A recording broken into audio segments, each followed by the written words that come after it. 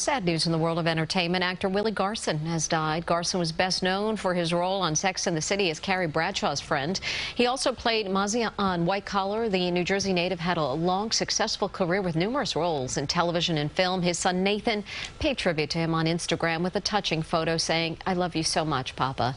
His cause of death has not been released. Willie Garson was 57 years old. Really sad, really sad.